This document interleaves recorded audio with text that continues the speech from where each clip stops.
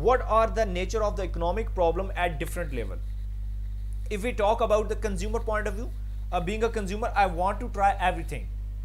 But i uh, can't try everything because of my limited uh, source of income. So every consumer is bound is limited because of their short or limited source of income. The next thing we have is the producer producer want to produce everything but you can't produce everything. You have to use uh, the alternative factors of production. The factor of production itself are limited in nature.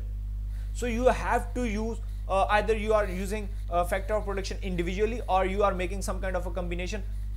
You have to make a different and the alternative resources in the order to make a new product the third one we have workers. Workers have no other choice. They have to give their skills they have to give their time to earn some kind of a money. They don't have much choices that if they leave this job they can join another.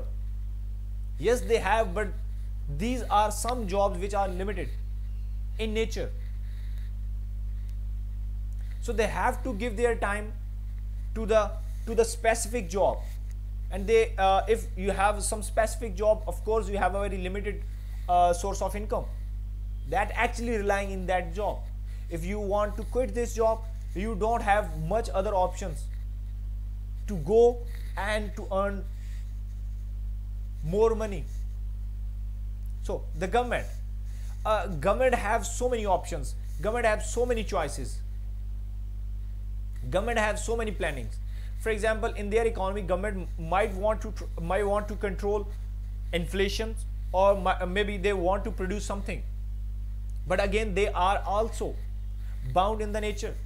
They have to decide they have to plan that they they can't uh, control everything. So they have to do whatever necessary at the moment.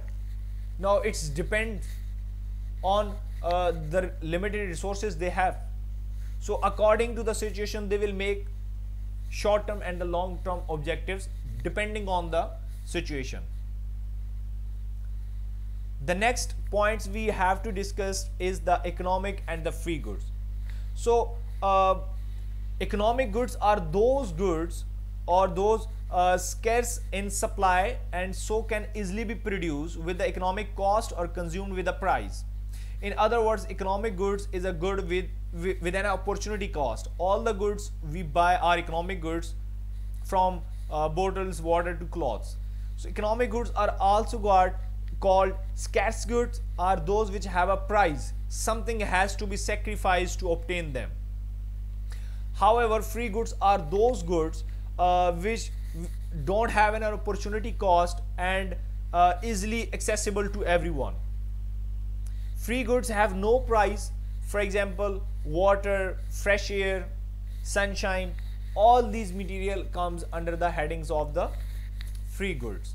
So this is the topic uh, we discussed today is the economic problem at different level and the economic economic and the free goods.